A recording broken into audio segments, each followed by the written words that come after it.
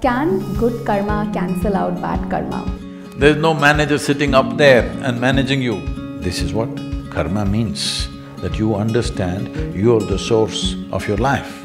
Will you make sure it is the conscious activity that you perform which will rule the destiny of your life? This is something you have to decide.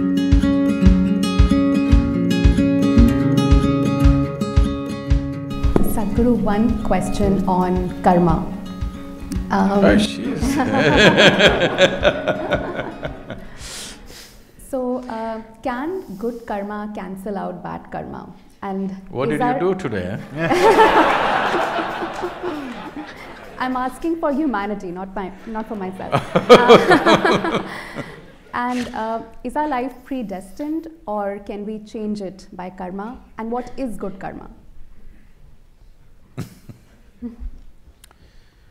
Uh, so let's understand this word. I know this has become part of English lexicon. Karma is an English word now. the word karma means action. As you sit here, there is physical action going on, there is mental action going on, emotional activity going on, energy activity going on in every one of us. Whether you're awake or asleep, four dimensions of karma are happening all the time. Since you woke up today morning, except for that bad karma you did no, you don't have to reveal that Since you woke up today morning till this moment, just a few hours, how much of these four dimensions of karma did you perform consciously? Should I answer? Hmm? Um, I, I was not conscious while performing my actions, they just happened. I'm saying for almost every human being is well below one percent. If you take in a day, well below one percent. So when ninety-nine percent of your actions are accidental or unconscious, you do one thing, you just drive here.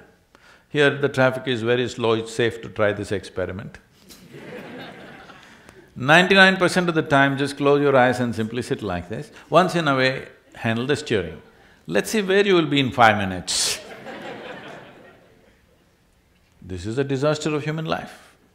So you must understand this. This is the most profound dimension of Eastern cultures that we told you your life is your karma. This means your life is your making. There is no manager sitting, I'm not talking about you guys.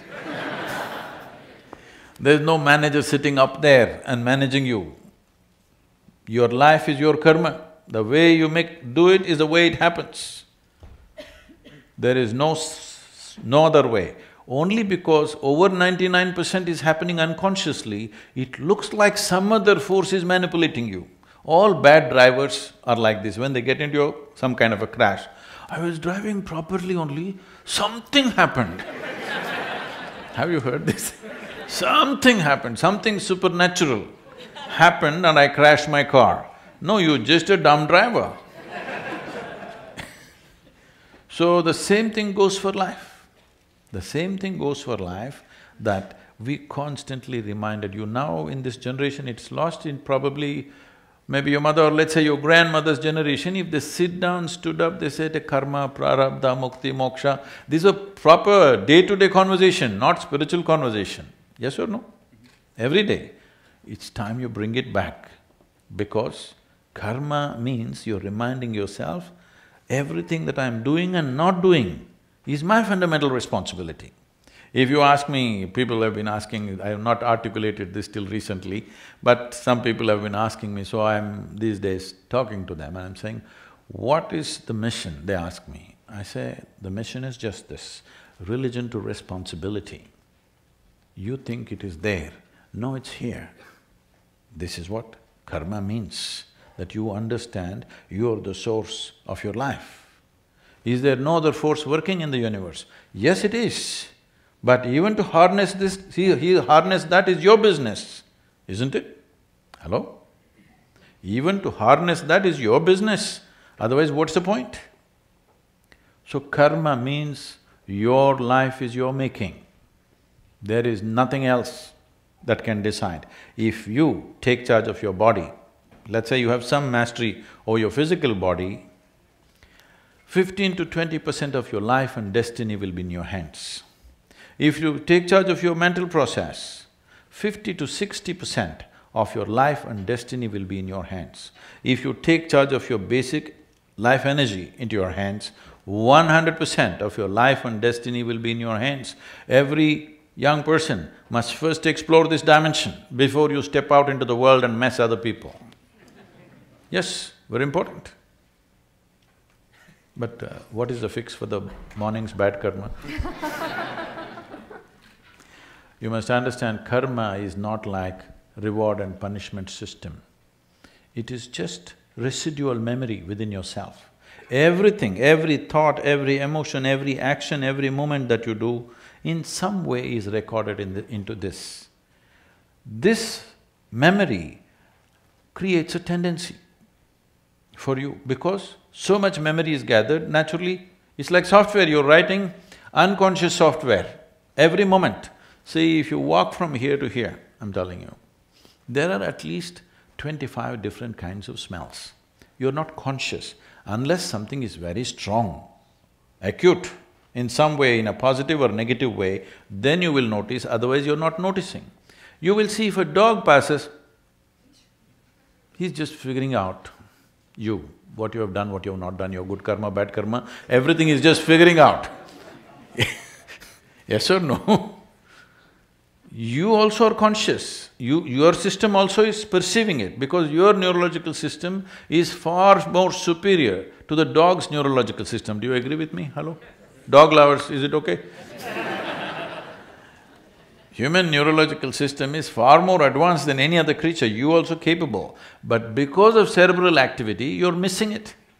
You do one thing, just go live in the jungle for some time, you will see suddenly your sense of smell. You just know everything just by raising your nose a little bit, sticking your nose out, you just know what's coming, what's going. You will see in the villages in India, they'll say it's going to rain today, you understand? Nothing, no sign of rain, no cloud, no nothing. He'll simply… and he'll say it's going to rain today, and it will, because the changes are happening in the atmosphere. So, because of this unconscious nature, if you walk from here to here, these twenty-five smells, for example, are all recorded in the system. And all like this, visual inputs, audio inputs, everything is recorded, recorded, recorded. Depending upon the type of material you've taken in, slowly you'll develop an unconscious tendency. Suddenly you'll like this, not something else, because of the kind of inputs you have taken in. These tendencies, traditionally, because you're coming to, from the scripture, traditionally we call this vasanas. Vasana is a very good expression because vasana literally means smell. So, depending upon the type of smell, accordingly you draw that type of life towards you or you move in that direction, that's what they're trying to say. But this is essentially, put to put it in modern terminology, you're building an unconscious software, so naturally it begins to function in a certain way. It doesn't matter what is the software, can you rewrite it? Of course you can. That is also your karma. So will you allow unconscious activity that you have performed to rule the nature and destiny of your life or will you make sure it is the conscious activity that you perform which will rule the destiny of your life? This is something you have to decide.